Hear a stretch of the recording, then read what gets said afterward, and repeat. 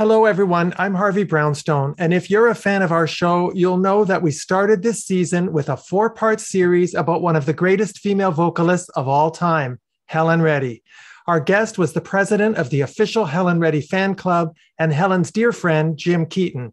Well, today, Jim is back with a very special guest. She's the woman who brought Helen's story to the big screen and introduced her music to a whole new generation. She's the producer and director of the 2019 blockbuster hit, I Am Woman. This critically acclaimed movie received nine AACTA nominations and won an ARIA Award for Best Original Soundtrack. And it's currently one of the most popular films showing on Netflix. Our guest is an award winning Australian filmmaker who first came to our attention in 2012 with her stunning documentary about Tony Bennett. She is the wonderful Unjoo Moon. Unjoo and Jim, thank you both so much for joining us. Well, thank you for having us. We're glad to be here. And it's so great for Jim and I to be together on Helen's 80th birthday and to be speaking about her life. Unjoo, I must tell you, as a Helen Reddy fan, that I was overjoyed with this movie because you told Helen's story so authentically and with such integrity. Congratulations on such a magnificent film. Well, thank you. I feel very blessed that, and extremely lucky that I met Helen and that she entrusted me with her story. Unjoo, can you tell us what it was about Helen Reddy that made you want to make the film? Well, first of all, anyone who's a Helen Reddy fan knows the impact that she's had. But for me, when I first met Helen, it just transported me to being a little girl growing up in the 1970s in Australia and having such a clear memory of how her music used to change the women around me my mother, her friends, these women who were my role models at the time. And a lot of them, because of the era, were mostly homemakers and mothers and not necessarily out there doing the kind of careers that a lot of women are doing now but i just so clearly remember when this when i'm woman and a lot of other helen songs used to come on the radio i'd be sitting in the back of my parents volvo station wagon and suddenly you know my mom and her friend they'd let down their hair they'd unwind the window and they'd be putting their fists up in the air and i I think I always equated Helen's music with change, the, the way I saw it change women. And that's a story I really wanted to tell. Jim, as one of Helen's closest friends, were you apprehensive when you first learned that a movie was going to be made about Helen's life? Honestly, yes. And I've told Unjoo this. I wasn't sure exactly how it was going to be done. And I was afraid that it would be sort of capitalizing on parts of her life that weren't the most positive things for her. But I have to tell you, at the premiere in Toronto, I said to them, I was afraid you might screw this up and I didn't know what I would say. Well, you did not screw it up. You know, Jim and I actually first met when we were researching the movie. So Helen did her last ever concert in Las Vegas. And I took the writer Emma Jensen with me and we flew out there and we really wanted to see this last concert of Helen's. And it was on her very last night. And we were all backstage with Helen and Jim and, you know, lots of people that love her. And, and that's where we first met Jim. And then you became involved in the film as well, didn't you, Jim? Well, I, Jordan had told me that they were working on an idea for a movie with Unjoo, and he asked me if I would be willing to help if they needed me. And of course, my answer to that was yes. So basically, anything they asked for that I had or that I could provide, I was thrilled to do it. And Emma Jensen, who wrote the screenplay, was absolutely wonderful. They all were. I mean, I worked with several people from the production team, and it was just something that I thought was a, a chance of a lifetime. We were extremely lucky because Jim had all these things that we needed that we would have had to recreate. And in fact, Jim sent us the the, the gold records in the in the movie that you see are actually Helen's real gold records. A lot of people don't realize that, and we were only able to have those on screen because of Jim. And I think you even sent us one of Helen's dresses. I did, yeah. which miraculously actually fit Tilda Cobham Hervey. Can you imagine? Like perfectly, like a glove. But unfortunately, there wasn't. It was white, yes. so the color palette didn't quite work for us but it really helped Tilda. She was so excited to actually be when it, wearing one of Helen's real dresses. The inter- another interesting thing about sending those gold records is I was really nervous about it because they were going to be mailed to Australia. So Mark, my husband, built wooden crates to mail them in. So they got there safely. We had instructions on the outside how to open them to make sure that the right side was up, and everything worked out perfectly. Now, Unjoo, the casting of the role of Helen Reddy was obviously a huge challenge. How in the world did you find Tilda Cobham Hervey? She's absolutely perfect in the role. I think she should have won an Oscar for it. Oh, I think Tilda did an extraordinary, extraordinary job. And it was really the key to making this movie. I knew that I really needed to find the right actor, and we took our time and we really did a very, very big search. So we had casting directors looking in four or five different countries. I met with several people. And I guess one of the things that I might not have talked about a lot before, but I'd love to share with you, Harvey, is that a part of me sometimes worried about, you know, when you make a film and it's an independent film, they really want you to have some kind of name attached to mm. the movie because it helps you get the movie made. But a part of me worried about that a little bit because I kept thinking, you know, I don't want somebody to be watching somebody who's very recognizable and not be able to completely you know me, you know really believe that that's helen on the screen. So what i was really look, looking for in the end was i was looking for an actor who had the spirit of helen not necessarily had to identically look like Helen because I know there's a lot that you can do. Like Tilda had, she'd had, she had an incredible hair and makeup team. You know, she had a false chin in there. She even was wearing false teeth. So there were a lot of things that we could do to tweak uh, physical elements. And of course, then Tilda embraced the physicality by doing a lot of voice work, choreography, movement classes. She sang to me every single day and really worked on those elements. But I think that as a director, what you're really looking for when you're casting for a biopic is you're really looking to capture the spirit of who that person is, not necessarily a cookie cutter mm. replica of that person. And I actually think that was probably the best move that could have been made. Tilda is an absolutely wonderful actress to begin with, but she watched a lot of Helen videos so she could work on the movements. And there were times during the movie when I'm sitting there watching the movie and I'm thinking, that's Helen. It was that real, eh, especially yeah. the performing but aspect even, of it. Even though she watched a lot of videos, I think what's really interesting is that she's not trying to mimic Helen. You know, she'll have certain mannerisms that are inspired by Helen, and especially in Angie Baby. Oh, you know, absolutely. all the hands. You and I can do all the the choreography. I'm sure you can too, Harvey. Yeah. We'll spare you that. Yeah. no, but I think she was really channeling her perfectly. Yes, because she really got to understand who the spirit of this person is. And I think that all the actors in the movie really embraced that. I mean, Evan Peters as Jeff Wald did exactly the same thing. And together they really supported each other by being able to be very present on camera and really being able to work off each other. And I think that that's what you respond to as much as you respond to the things that you may remember about Helen, you're responding to the relationship between the people on the screen. Now, other than the opening song, You're My World, which is sung by Helen Reddy, all of the other songs in the film are sung by Chelsea Cullen, who's practically channeling Helen as well.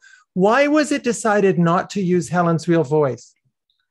So it, it was not possible to use Helen's voice throughout the whole film because the film is in my mind, very much played like a musical. So some of Helen's songs were going to have to be changed to capture the emotion of the moment. So we ch- actually changed up. You'll go back and if you want, watch some of the songs, the, the rhythm of the songs have been changed. And they needed to feel live. They needed to feel that when Tilda is singing as Helen, they needed to really feel that you're watching that as a live performance, not as a recorded performance. And the performances that we have of Helen are mostly recorded. And we couldn't necessarily capture the emotion in those recorded performances. And also, in the, even though there are some wonderful live recordings of Helen, they weren't necessarily spot on with where we needed the character of Helen to be emotionally at that moment. So we did a big search again for the right voice to fit Tilda and to, for you to really believe that that is the voice coming out of Tilda's body. It's really interesting. If you were to listen to Tilda's uh, Chelsea's voice separately and you watched Tilda separately, it's not like they fully capture Helen on their own. But when you marry them together, you really capture the feeling of Helen. And the performance might not be spot on to Helen, but again, Chelsea very much captured the spirit of how Helen performs. And most importantly, what Chelsea did is she told the story. And that's what Helen is so beautiful at doing. And that's why we all respond so well to her music, because Helen was an extraordinary storyteller. So, just a little interesting fact there are um, more than one song in the movie that is actually Helen's real voice. So, there are actually three songs in the movie that are sung by the real Helen Reddy.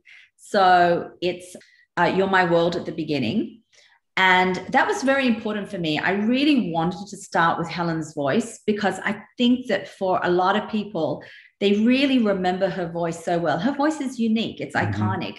And what having Helen's voice at the beginning of the movie does is it really allows you to believe you're entering Helen's world and everybody knows that that's her voice. You'll see there's actually quite a big gap between that first song and when Tilda starts to sing. And that's also done a little deliberately so you're not you know you're not butting up the two voices right next to each other so every time tilda physically sings and you see her singing on the screen that's chelsea's voice every other song that is not sung by tilda is actually helen's voice so the other two songs are love song for jeffrey and no ain't no way to treat a lady.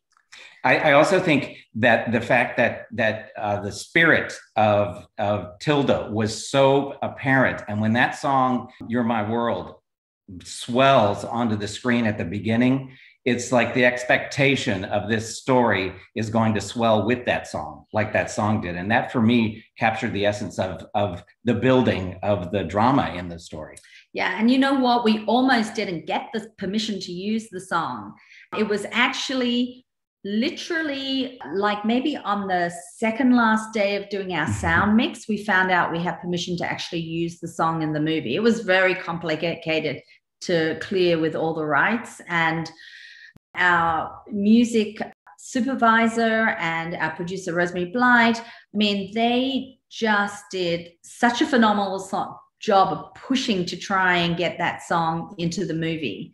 It was a, it was very very challenging and and they kept people kept saying to me, you know, you're going to have to think of something else to put there. And I just hung on to the very end because in my heart, I always knew that was perfect there. That was perfect there. That was. Oh, absolutely. it was absolutely perfect there. It totally set the stage. Now, Jim, you're the president of Helen's fan club. What has been the reaction of the fans to the movie? It's been incredible. Everybody has been very supportive. The only thing and it's minor is that people want a documentary about Helen, and so do I but that movie was not intended to be a documentary. It was telling a story, and it would not have worked to tell Helen's entire life in two hours. It's just not possible. So I think the way the movie was done told the story of the three periods in her life wonderfully. And I would love for somebody to make a documentary. Are you, are you looking at You're looking at me, Jim. You know, I actually think it's wonderful that there there's room now for more things to be made about Helen. She had an extraordinary life, and this movie really. When we were creating it, it was really clear that there were very definite things that we had to make choices about. And I think one of the really important things for me in making this movie was legacy and it was really showing what the legacy of Helen's music and her life has been. So it really built to the end point. So there were many aspects of Helen's life that we were simply not able to cover. We weren't able to cover her early life. We weren't able to cover her family in show business, which is such a fascinating mm-hmm. story. And we weren't able to cover a lot of the music that she did with other musicians, Glen Campbell, the Bee Gees, I mean, how many, inc- like she even performed with Kiss, is that right? Yes, with Gene Simmons. I mean, incredible. But we weren't able to cover all those elements because one, we didn't have time. And on a film of this size, we couldn't really afford to include all those other musicians. Every time you play music in a film, it's very expensive.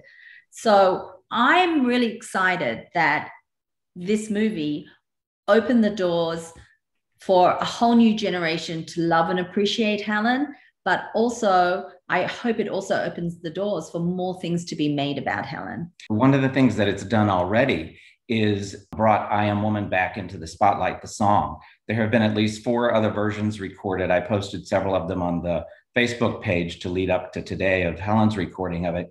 And some, uh, the, the uh, interest in the song is so strong. I hear about, I've never heard the song before, or my mother used to play this and now I understand why.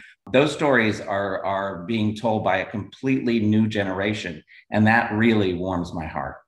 And do you know, Harvey, do you know, Harvey, that when the film opened in Australia, it was the first time in Australian music history that both a grandmother and a granddaughter both had a song in the top 10 in Australia. Helen with I'm Woman. In fact, almost all her songs charted yes. in that week when the film opened. And then Lily, who is her granddaughter and a, a, wonderful singer, we put her in the movie as part of the legacy of Helen and her music. And the original song that she sings, Revolution, also charted in that same week. I think that's amazing. It is. It's really, it's just so appropriate for Helen. Now, Unjoo, I understand that you showed the movie to Helen before it premiered at the Toronto Film Festival in 2019. Can you take us back to that day and tell us what it was like to watch this film with Helen Reddy? Well, we showed the film to Helen before we finished the movie. And I thought that was very important. You know, Helen had been on this journey of the film, you know, from the very, very beginning. The film pretty much started off with me, Helen, and Jordan. You know, for the first year, it was just the three of us. You know, Jordan was really helping me find material, and Helen and I were doing a lot of conversations. We were taking walks, and sometimes the little things that she'd say at lunch or when we're walking on the beach sparked an idea that I would research more. So Helen had been very supportive from the very beginning. She didn't originally want to mm. make a, a film. And you, you can understand why, because we all know that Helen, I think that a film meant that it, it couldn't encompass everything that Helen thinks is important for her. Well, and even though she was a very public figure, she was a very private person. Yes. So yes, she was. You put um, that so beautifully. She was a very private person. So, what did she think of the film? Oh, so she um, she had read the script, and the family had made a couple of small comments, nothing really major. I think the more interesting conversation is what did Jeff Wald think of the script? Oh, I'll get to that, um, believe yes. me. but but I think that when we showed the movie, we decided that I wanted to have like a moment before we finish editing the movie because I felt it was really important to address something if Helen felt very strongly about it. So we did a screening here in Los Angeles at the Dick Clark screening room. And we did two separate screenings, one for Helen and Tracy and Jordan and, and Tracy's husband. And the second screening was for Jeff and Deborah, his wife. And I was super, super nervous, especially with the screening with Helen, because I was so busy at the time, I hadn't really thought about, thought it really through in my head. And then all of a sudden, I realized I'm sitting in the theater, the lights go down, and there is the real Helen Reddy sitting in front of me, and she's about to watch a movie through my eyes. I just started to panic a little bit because we all know that Helen likes to say it as, as she thinks, don't you think? Oh, she Jim? does, yes. Absolutely. Like if Helen does not like something, she will let you know. So I was so caught up in the movie making that I just in that moment started to panic. But in that same moment, I realized that Helen was laughing and singing, singing along to her songs. She was very engaged in the story. And that really made me feel so much more comfortable because I realized that, the, that she was enjoying the movie. And at the end of the movie, the end title cards came up and she actually read each of the title cards out aloud. And when she read the last one about the Equal Rights Amendment never being passed in the US Constitution, she paused and then she started to cry. And it was so incredibly moving for all of us there. In this moment, I felt that Helen had totally felt everything about the movie and she hugged her children and then she hugged me and and then I felt really that I was going to continue with her blessing. In fact, we actually ended up changing very little after that mm. screening. Wow. Well, congratulations. That's quite a tribute to you. Now, you know, Helen wrote a memoir entitled The Woman I Am. Unjoo, were you influenced by her book in the way that you directed the film? Well, when I first met Helen, she had told me her story in person. So we had spent a couple of we we met at an uh, an event in in Los Angeles. It was the Australian Good Day Australia Ball. You know, it's sort of I always talk about the fact that when I realized it was Helen Reddy, I made my husband swap seats with me because I really wanted to talk with her. So she had told me a lot about her story and then we met a couple of times afterwards. And then I read her book. And I found her book really fascinating because there were other layers of her life and of her that I thought were just really, they really kind of explained so much to me about Helen. So we really used the book as, as a resource in terms of what it what you know in getting understanding her better as a person and I certainly know uh, Tilda also read the book, but the movie is very specific, covers very specific areas of her life.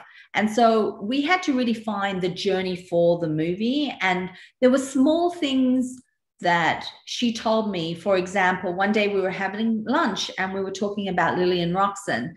And she told me something very, very small, which then made me think, oh, it's very, this relationship with her, with Lillian, was actually very pivotal to Helen. She doesn't talk about it, uh, she talks about it in the book, but not in the same way that we capture in the movie. And in the movie, it's a work of fiction, it's a fictionalized account of Helen's life. So there are things that happen in the movie that might not have exactly happened like that in the book. But a lot of everything was grounded in reality. And I do remember saying to Helen, you know, because at first we had talked about possibly doing a documentary, but when we when it was really clear to me that we needed to make this dramatized version of her life and in some ways to help reach a bigger audience i thought that that was part of it as well i did say to helen you know helen i'm never going to get every part of your right in this uh, this every part of your life right in this film I won't get every everything you've said correct. I may not even get the sequence of events correct. But one thing I promise you, Helen, is that I will absolutely honor the spirit of who you are, what your life has been, and what your music means to people. And I think that that absolutely was achieved. And I think that meant a lot to Helen to trust her story to someone who was going to treat it with that respect. Oh, and boy, did you ever. And you also respected her fans, Unjoo, who followed her career so loyally, who knew every note and every lick of every song. You really paid tribute to her in a way that we as fans felt very respected and validated. And I thank you for oh, that. I'm so glad to hear that. You know, we actually did a lot of research on the fans as well, not only talking to Jim, but we spoke to other people. And I, we found this incredible book that somebody had put together that Jordan had given us. And it was literally a book that one of the fans had followed Helen's career all through the 70s and 80s and created this extraordinary scrapbook where she had also written everything that she'd experienced with Helen as well. So we actually did a lot of research with the fans. And because I know how important it is, how important her music and her story was to the fans, you know, I actually really held on to a lot of songs in the movie and made sure that we played them in full because I knew that that is part of the experience of watching a Helen Reddy biopic.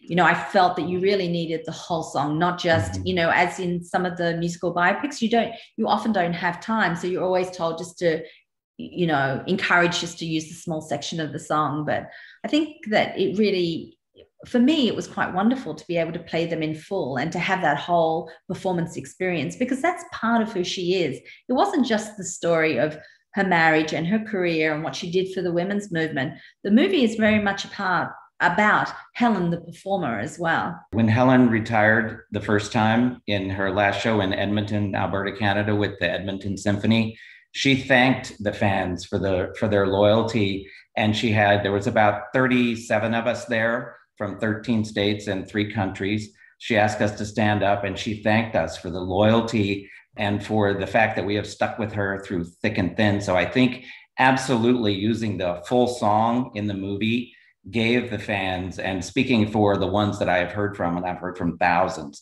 that they appreciated that. I appreciated that because it didn't short shrift Helen. It let her express the whole thought that she was trying to express in a song. Yeah, you know, I, I think I got very lucky in the time that I met Helen because it was also she had just moved back to Los Angeles and she went, she did like a last series of concerts. At the time, we didn't know they were her last series, but we were all super excited because she was back at the Catalina Lounge in Los Angeles and she was performing in Vegas. And I actually got to meet, I went to a lot of her shows and I got to meet a lot of the fans, and that really helped shape the kind of story that I wanted to tell. It really helped shape the kind of movie that we wanted to show. And one of the most meaningful screenings for me after we started to release the film was we were in New York together oh, yes. at the Athena Film Festival, where the movie was the opening night film. We had our New York premiere. And it was so amazing because Jim and so many of the fans flew to New York and that was really one of the most special screenings, wasn't it? Jim? Oh, it was wonderful. And to, to cap that night off, at the party afterwards, we were at a club called Mel's Burger Bar, which is absolutely wonderful. And at the end of the evening, they played I Am Woman, Helen's version of it. And the entire crowd that was there, there were probably maybe 300 people, were singing to the, you know, at the top of our lungs, I Am Woman. It felt so, so right to be closing the evening that way. Yes, I think I've got it. I only managed to capture a little snippet of it. I think I've got it on my Instagram page, but it was so beautiful.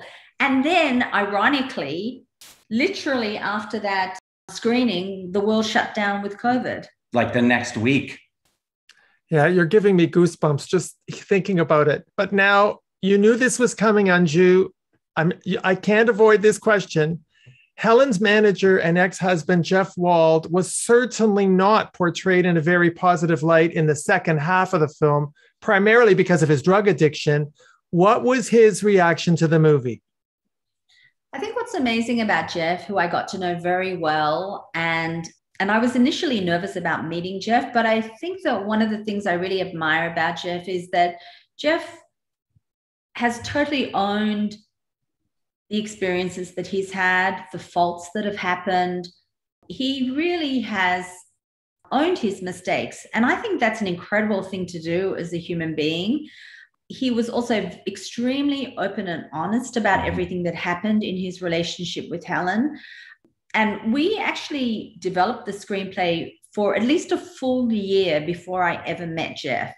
And I think that was really, really important because this is Helen's story. And Jeff is such a big person and such a big character, and and people, you know, have very strong memories of Jeff that I thought it was really important for Emma and I to really focus on making the film about Helen initially. And then after a while, after about a year, I actually got a phone call from Jordan saying, Jeff wants to meet you. And I, I'll be really honest, I was a little nervous because I kept thinking, if it doesn't go well with Jeff, this film could be in trouble. So I went to the restaurant that he wanted. I sat at the table that he asked me to sit at. And I went there. He was, I got there early. I remember he was 20 minutes late, but I was like 20 minutes almost early because I was really anxious about it. And he sat down. It was about, hmm, I think about 20 past one when we sat down. I did not leave the table until seven o'clock that night. Really? He was so generous and so really had so many incredible things to tell me. And I think that part of wanting to meet me, because I, I really came to learn that even though he and Helen had had so many differences, and at that stage when I met Jeff, I don't even think they were really communicating that much, but which of course then changed over the years that I got to know them But what really struck me about Jeff is that he is the antagonist in the in many ways in this movie. But it really struck me that while I was telling his story, that he spent a lot of time taking care of Helen. He wanted to make sure things went well for Helen. And even in this movie, Jeff was or seemed a lot of the time concerned about how this would impact Helen and impact his children. Mm-hmm. So he wasn't thinking about himself as much, but he was very open and very honest about who he was and the part that he played in her career and what happened in their marriage. I really have to say, I really came to admire that. And Jeff saw the movie. He was, he's been incredibly supportive. At the end of the screening, he turned around and and you know i hope he doesn't mind me saying but he had tears in his eyes. And he was very moved and he's been at he came to the los angeles premiere at the american film institute. We were the a special screening on their closing night of the festival. And he came and he supported the movie. Even when people were asking questions about him and mm. all the craziness he was there really supporting it. I really have to admire that and I, I, have really to say, you've you've you've really touched me. I look the the fact is, the man was a drug addict and he stole all her money. Uh, doesn't make you feel warm and fuzzy towards him, and yet what you're saying gives me the sense that there is not only an acknowledgement of really serious wrongdoing and mismanagement, but regret, remorse. Well, I think it's he he accepts the responsibility and he accepts his part in in the problem itself. Just to give you, Jeff is one of those people that is not, he does not hold back his opinion, but he also, when he cares about you, he cares about you. Just to give you an example, last my birthday last July, I got a very nice message from him that out of the blue. And I, it was very touching. I, I will never forget that. Jim, you knew Jeff mm-hmm. back in the 70s. What's your reaction to the portrayal of Jeff Wald in the film? Well, I was telling Unjoo this the other day. I, I, I thought it was fair, and I thought it was it was it's Jeff. I mean, the good, the bad, and the the ugly. It's Jeff. The, uh, but knowing Jeff so well and knowing the story so well, there were some scenes that were difficult to watch, but they were difficult to watch because they were based in fact. In fact, a lot of those scenes were scenes that Jeff told me. So a lot of those scenes about Jeff would not exist in the movie unless he had actually shared the stories. And, and I think the demise of their relationship, I came to understand, was a lot more complex and complicated than Jeff. You know, yes, the drugs played a big part of it, but losing the money was a lot more complex and complicated than Jeff, just Jeff spending it. I think there were a lot more layers to it. We don't go into it a lot more, and maybe a documentary would would question that more. But I think that in this movie, it was really about the breakdown of a marriage. And what about the two children? How have they reacted to the film? Both Traci and Jordan have been incredibly supportive. I mean, as I said, this movie started with just Helen, me, and Jordan. And Jordan really facilitated so many amazing introductions and really helped me convince Helen that this should be a movie, not a documentary. And then at some point along the way, uh, Traci got more involved as well, which was, you know, really helped give us another side to the family and to and to seeing how she and the journey that she and Helen had been on together. That really struck me as a woman, as a mother. You know, the movie pretty much starts and ends with the two of mm-hmm. them. And when I started to really look into Helen's life, I just could not get over the fact we all know the story of being a superstar and the heights of fame that she reached and things that she did for the women's movement and the legacy that she leaves behind. But as a woman, I think, how did she do that? Like she arrived in New York at the age of 25 with a three year old child. She had, there were scenes where I kept thinking, well, who looks out when she's performing, when she's going to work? Who looks after the child? You know, the practicalities of it all. I think it's really quite amazing the journey the two of them went on. And Traci and Jordan both gave me really great insight into their family, into both the parents. I mean, one of the things that Traci spoke to me about that we had not really thought about with Jeff is that initially, I, I have to say that before I met Jeff, Jeff was a lot tougher as a character. Mm-hmm. But once I met Jeff and realized how incredibly charismatic he is, and then Traci said to something to me at lunch one day. She said to me, "One of my overriding memories." I said, "What's what, What's one of your biggest memories of Jeff?" And she told me this great story of how he she came home one day and there was a motorbike sitting in the living room like like in the middle of the living room and that she got on it and he drove around the living room and it just made me think oh my gosh he was so much fun and he was so kind of you know mad with with the enthusiasm and that's an element of the character that I think Evan Peters captured really well because you have to really believe in this movie and in this story and understand why Helen stays with him for so long mm-hmm. and why she loves him. And part of it is that he is so charismatic. He is so, you know, he did really put her first for such a long time until the drugs, you know, kind of took over. Well, you know, I love the fact that this isn't simply a biopic about a popular singer the movie makes an important statement about feminism and the women's rights movement. Isn't it amazing that Helen's story resonates so powerfully all these years later when we're still dealing with the struggle for equality and the Me Too movement? Absolutely. And I think that is so obvious when you see the women's marches and you see signs that say things like, I am woman, hear me roar, we are invincible, and things like that. That to me says more about the legacy of that song than anything else. It's not done yet. Yes. And that's why we set the last scene of the movie at the 1989 Right to Life March that was a very important moment in Helen's life. But I felt that particularly when I had was making the movie and the women's movement, the women's marches had started, I felt that it was really it would be feel very contemporary for an audience because that would be something that they would really understand and relate to. I was actually at the Women's March in Washington, and part of the apart from wanting to go there and support rights for women, I was also there because I wanted to stand at the steps of the Lincoln Memorial and look out on a sea of people in the way that Helen did at the end of the movie. And I knew in my heart, I think that we would never get to shoot in Washington. Mm-hmm. So I wanted to go there and experience it for myself and know what we were trying to recreate. And I sat on the steps. I stood on the steps of the Lincoln Memorial. Like literally, I'd been at the Women's March. There must have been over a million women on the streets. It was really quite amazing.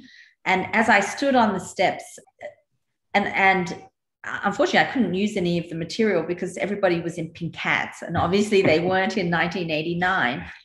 But as I stood on the steps, I saw somebody walk past with a sign saying "Hear me roar," and I just thought, "Wow, that's just so perfect." and so amazing. I took a photo of that. And that photo that I took actually is in the end title cards of the movie one of the I think it was the New York Post had one of those signs on the cover. And I took it to show Helen. And when she saw the sign, she started to cry. And it was, that was a very powerful moment, I think, for her. It certainly was for me. Again, the, the song is still having an impact. And those words that she wrote all those years ago are just as powerful now as they were then. And look at the, more powerful. And look at the Facebook page that you manage, Jim you're managing the official Helen Reddy fan club page. You must be thrilled to see the ever increasing numbers of new fans following the Facebook page, all because they fell in love with Helen through this beautiful movie. I am thrilled beyond words. And especially, I mean, I, I welcome everybody there, but especially little girls who are writing to me telling me that the movie meant so much to them or Helen meant so much to them. Oh, here we go because she meant so much to me and I, I identify with that feeling. And i just i think it's one of the most powerful messages that's come out of all of this for me. So what's next for Unjoo moon? Is it true you're going to be directing frankly in love based on the david yoon novel? I am. I'm so excited about the book. It's i saw i met david yoon the other day and i just think he's written such a special amazing book that in its own way is very you know it touches on such really important themes of our lives right now. So you must you're really incredible. You did an amazing documentary on tony bennett. You've now done a feature film dramatization of helen reddy's life. You're now moving on to do the david yoon novel. I'm telling you, uh, we're going to be watching you at the Oscars in Oh. short order. You know, at the end of the day, I think I just really want to, I'm attracted to things and I want to make things that I want to see on the screen. And sometimes I think that I go to the cinema and I don't see anything on the screen sometimes that I want to watch. I'm not really great with violence. I'm not really great with a lot of blood and gore. And and I love going to the cinema or I love watching something at home and just really walking away feeling uplifted and feeling like I've really experienced a different world. And so I think I got super, super lucky and blessed, as I said at the beginning, that when I met Helen, I knew, I knew instantly in my heart that I was going to make this movie. And I'm so glad that Helen came on this journey with me. Oh, and so is everyone else. And I love that you're Australian. I think that really matters in this case. Oh, that's so funny. Well, the thing is that, you know, she and I had a lot, a lot in common because, you know, she actually paved the way for somebody like me. So, look, we come from very different cultural backgrounds, but we both grew up in Australia and we both really had a dream of having a bigger voice artistically on the world stage and both felt that coming to America would be how we would achieve that. And so I could not have done what I'm doing now without her breaking those barriers for women, breaking those barriers for artists, breaking those barriers for Australians to be able to make this kind of a journey.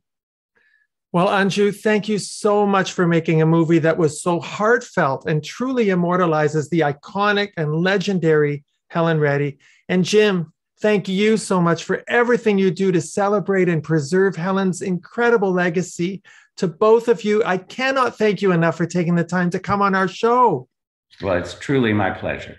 And I'm so excited that I got to do it with Jim together. It's so nice. We work well together. Oh, absolutely. I'm delighted. It was like um, a double blessing to have you both on the show. And Unjoo, I can't wait to see your next film. I hope you'll come back on our show to talk about it, please. Oh, I'd love to. Thank you so much. Our guests have been filmmaker Unjoo Moon discussing her film I Am Woman and Jim Keaton, president of the official Helen Reddy fan club. My name is Harvey Brownstone. Thank you to our producer, Steve Silver. Thank you all for joining us. See you next time. Remember to subscribe to the Harvey Brownstone Interviews YouTube channel. And be sure to check out more great interviews with Harvey Brownstone on harveybrownstoneinterviews.com.